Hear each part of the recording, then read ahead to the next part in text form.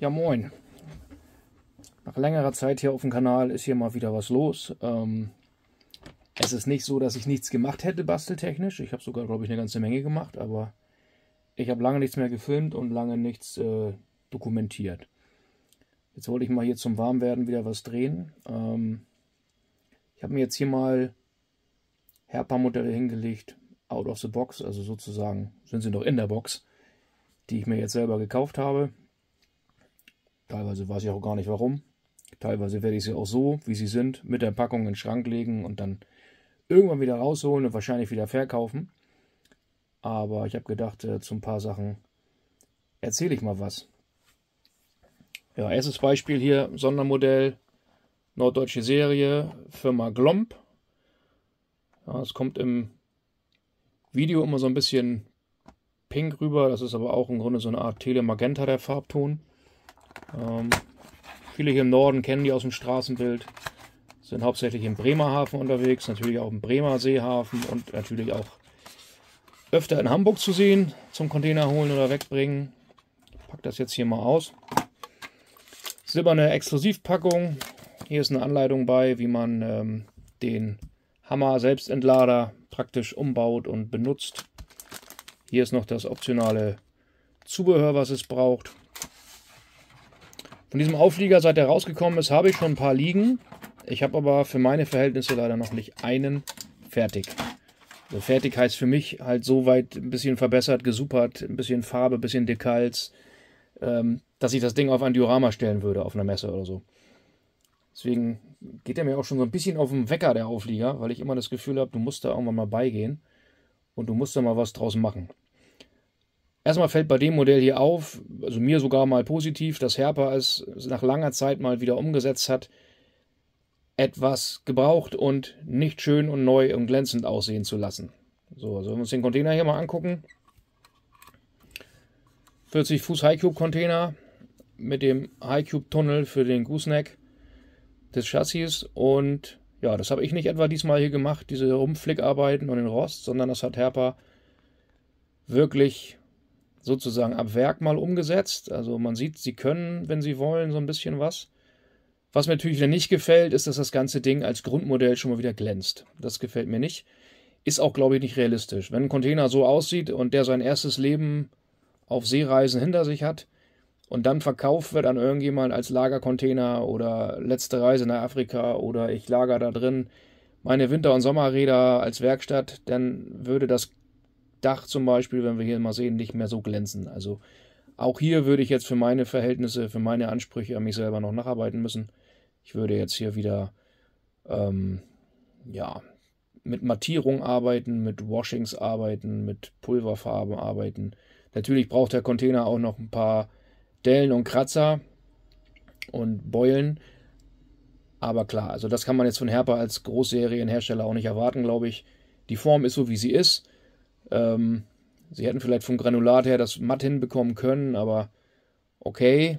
Und dann haben sie halt im Tampondruckverfahren, nehme ich an, hier diese Rostspuren, Laufspuren und Nachlackierungsspuren aufgebracht. Sie haben trotzdem noch hier auch ähm, das Containerpräfix, die Nummer, den ILO-Code aufgebracht. Ja.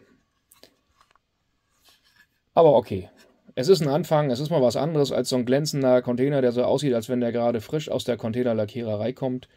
Von daher ist das schon mal so ganz nett. Ja, was können wir zum Auflieger sagen? Das ist das bekannte Produkt. Äh, nachempfunden ist hier eigentlich der bekannteste Hersteller für diese Art von Aufliegern. Firma Hammer. Nicht Hammer, sondern Hammer. Ähm, die stellen die Dinger im Grunde für die ganze Welt her. Mit verschiedenen Radständen, verschiedenen Achsen verschiedenen äh, Lastschwerpunkten kannst du die Dinger in Australien finden, in Amerika, in Europa, überall. Äh, man kann diese Krananlagen hin und her fahren, wie im Original, um also auch einen schweren 20er zum Beispiel in die Mitte zu stellen oder einen einzelnen 20er zu fahren. Und ja, das Ganze funktioniert im Prinzip schon mal ganz gut. Da wird hier die Stütze ausgefahren. Beim Original ist das auch so. Ich durfte schon mehrmals mit den Dingern zusammenarbeiten im Original. Hier wird dann die Stütze abgestützt. Dann kommt hier das Kettengehänge dran. Das wird unten in den Container eingehangen und dann kann der Container praktisch so hier runtergekrant werden auf den Boden. Wenn man 220er transportieren möchte, die nicht zu schwer sind, dann werden die durch äh, Beschläge zusammengezogen an den Ecken. Und so wird aus den 220ern eine Einheit, die dann im Grunde ähnlich wie ein 40er abgesetzt wird. Dann kann man die mit dem Ding ein bisschen auseinanderziehen. Und dann kann man einen einzelnen 20er einhaken und wieder aufladen oder auch entsprechend wieder ähm, irgendwo abstellen. Ja. Das Grundmodell schon ganz nett gemacht, hat natürlich einige Fehler, damit Herber das in dieser großen Serie umsetzen konnte. Es fehlen natürlich Schläuche, Hydraulikleitungen und solche Geschichten. Die ähm, Hydraulikstempel, wenn man die ausfährt, die wirken oder sind silber gespritzt natürlich. Ich ersetze die ja gerne durch echte Drähte, damit die auch wirklich hochglänzend aussehen wie ein echter Hydraulikzylinder. Also hier ist noch viel Arbeit dran. Die Staukiste ist in dem Fall mit äh, gespritzt in dem Telemagenta Pink hier. Äh, Wäre im Original wahrscheinlich schwarz. Also mit Farbe und ein bisschen Leitung und Dekals vor allen Dingen kann man hier noch viel machen. Die bekannten Dekalhersteller, auch die kleineren Hersteller, äh, auch unser Kollege Olli, hat da auch schon was gemacht, hat da was im Programm. Man kann also von dem Originalhersteller dieses Aufliegers die Dekals bestellen und da noch einige Details wie Verschlüsse der Kisten ähm, und so weiter nachbilden. Das würde ich also auch empfehlen. Ja, ich muss mal gucken. Man muss sich mal einen davon anfangen. Ich muss mal auch einen für meine Lürsflotte mal lackieren und fertig machen, dass ich so ein Ding mal auf dem Diorama auch entsprechend einsetzen kann. So, Zugmaschine, was gibt es dazu zu sagen? Ist halt eine XG, in dem Fall keine XG Plus.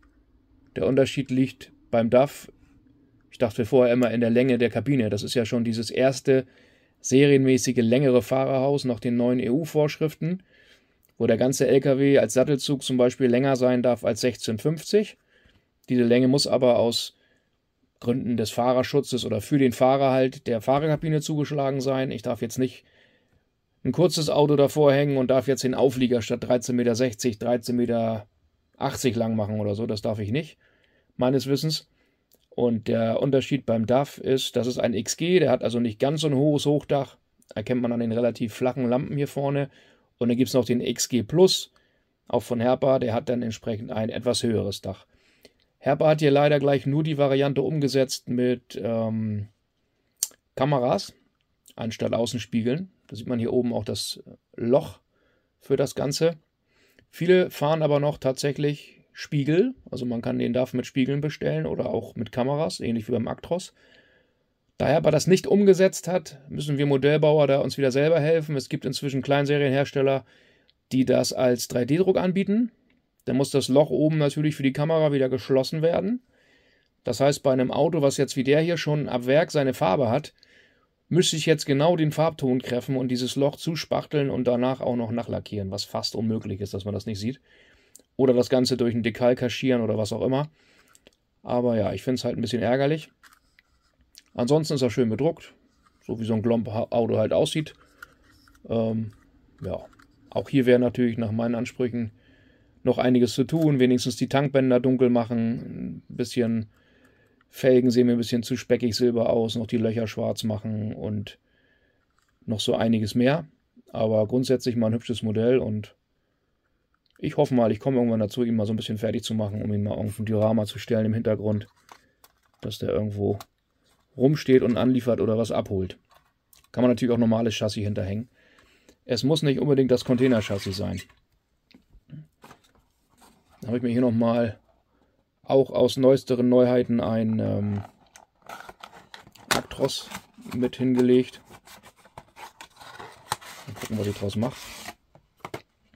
Das ist jetzt so eine Edition 3.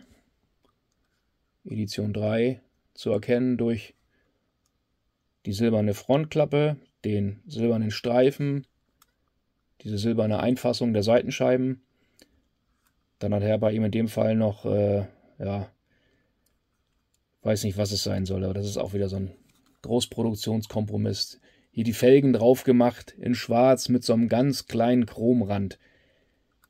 Ja, ich weiß nicht, ist im Grunde Blödsinn, weil ich kenne sowas noch so aus den 80ern und 90ern, da hat man mit Stahlfelgen gefahren auf einem Fernverkehrs-LKW oder Nahverkehrs-LKW und hat sich dann so eine Chromkanten kaufen können, also so eine verchromten, keine ganzen Radkappen, sondern so eine Ringe, ist aber kaum üblich. Die waren dann auch, wenn etwas breiter als hier angedeutet, das ist also von Herpa hier auch wieder so ein fauler Kompromiss, der mich auch wieder ehrlich gesagt ein bisschen ärgert.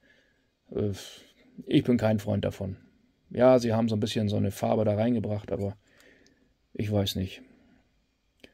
Ja, Hupen haben sie gleich äh, entsprechend Löcher gebohrt und verklebt oben am Dach, links und rechts. Naja, inzwischen sind die Dinger auch in der Ausführung gar nicht mal mehr so günstig. Da ich kaum schwarze Fahrzeuge mache, muss ich mal gucken. Vielleicht mache ich immer ein buntes Auto draus. Sprich, also der kriegt irgendwelche Beschriftungen in Silber, vielleicht passt dazu. Und ich mache mal so ein buntes Containerauto draus. Kann aber auch sein, dass er ewig so im Schrank liegt und nie wieder rauskommt. Ja, hier auch die Version mit Kameras. Bei Mercedes ist das ja wirklich inzwischen im Original oft der Fall, dass die verwendet werden. Ich habe sie jetzt für Neukäufe für unsere Firma auch mit Kameras genommen. Ich fahre die Dinger jetzt auch jede Woche mal und ich finde es gar nicht mal so schlecht. Ich finde, wenn man sich dran gewöhnt hat, es ist schon eine feine Sache. Beim Rückwärtsfahren laufen die automatisch dem Aufliegerheck hinterher. Das heißt, ohne dass ich die Spiegel verstelle, kann ich 90 Grad an die Rampe fahren und ich sehe immer ungefähr, wo ich hinfahre mit meinem Auflieger, ohne dass ich irgendwas verstellen muss. Das finde ich persönlich ganz angenehm. Dann habe ich mir hier nochmal auch gegönnt für zukünftige Projekte aus dem Teileservice.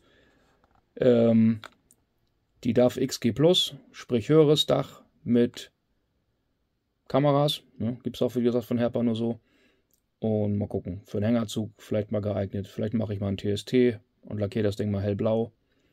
Mach mal so ein Fantasie-TST-Auto draus. Muss ich mal gucken. Sind ja zwei Stück drin.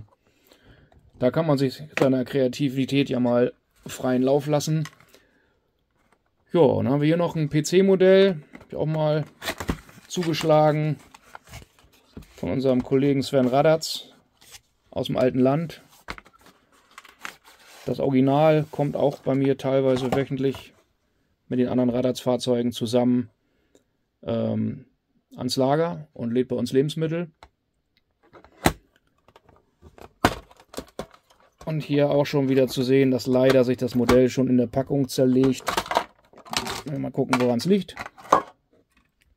Hier ist schon die komplette Heckstoßstange mit Innenleben und Schmutzfänger abgefallen. Für den geübten Modellbauer kein Problem. Wenn jetzt aber so ein reiner Sammler so ein Ding kauft oder jemand, der so ein Ding geschenkt bekommt als Werbegeschenk von Herrn Radatz, dann ist das natürlich ärgerlich, wenn der Kunde dann anfangen muss, sein Modell erstmal wieder zusammenzubauen, damit er sich auf den Schreibtisch stellen kann. Ähm, ja, wird dann wohl in dem Fall dran liegen, dass die Stoßstangen Löcher in dem Auflieger entweder zu groß sind oder die Pins zu klein geworden sind und der dann halt ein bisschen locker saß. So, ich versuche das mal. Auch hier, guck mal, den, den Staukasten hat es auch schon auf dem Weg von Herper zu mir auch schon abge, abgezuppelt hier.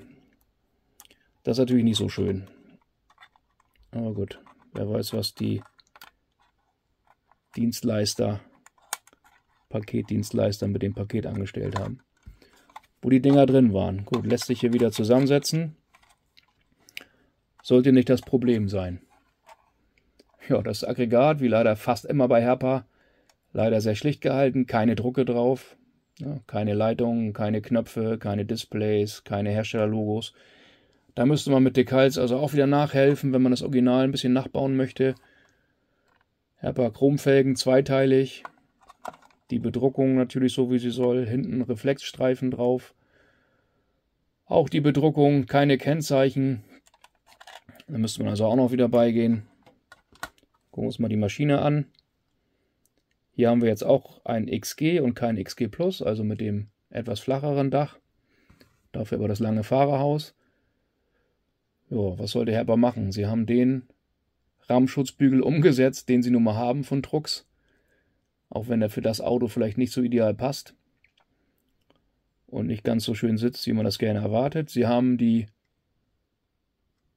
den Lampenbügel zwar lackiert, haben es aber für eine gute Idee gehalten, die Lampen oben gar nicht zu bedrucken oder zu prägen. Das ist natürlich schade. Die sind nicht mal silber geprägt oder irgendwas. Ja, und was leider auffällt beim Original, ähm, scharf machen hier, macht er das scharf. Beim Original hat der Radatz auch Spiegel. Herper konnte es nicht umsetzen, weil sie die nicht haben. Also hat Herper ihm natürlich Kameras verpasst. Stellt uns wieder vor dasselbe Problem. Würde ich jetzt versuchen, das Radatz-Auto mal nachzubauen, müsste ich oben das Loch zumachen. Müsste mit diesem, ja, was ist das? Braunton von diesem Zierstreifen das irgendwie kaschieren. Mit einem Dekal oder so oder mit Farbe und müsste dann Löcher bohren unten und müsste die Spiegel nachkaufen als, als 3D-Druck. Die sind dann ja so weiß transparent. Die müsste ich wiederum in den Lack tauchen. Ich müsste mir also wieder vom Sven die Lackfarbe besorgen lassen von seinem Lackierer. Müsste die in die Airbrush packen, anmischen und dann entsprechend die Spiegel lackieren in Wagenfarbe, damit das Ganze dem Original entspricht. Dann haben die Autos auch gerne im Original, auch bei Herrn Radatz, äh, eine lange Sonnenblende, also eine Tuning-Sonnenblende sozusagen. Herber kann nur die. Beim Scania haben sie es letztens umgesetzt. Beim letzten Malmbergs haben sie tatsächlich mal eine längere Sonnenblende gemacht. Und bei den vielen Showtrucks und aufgemotzten Scanias, die Herber gerne bauen möchte, ist es natürlich ganz geil, wenn sie es auch endlich mal bringen. Von daher habe ich ja die Hoffnung, dass sie das bei anderen Herstellern wie DAF und Volvo und so auch noch machen. Ansonsten müssen wir da auch auf 3D-Gedruck oder selber bauen zurückgreifen bei der ganzen Geschichte. So, das war mal unser kleines Unboxing-Video heute. Ich wünsche euch noch einen schönen Tag und bis zum nächsten Mal und tschüss.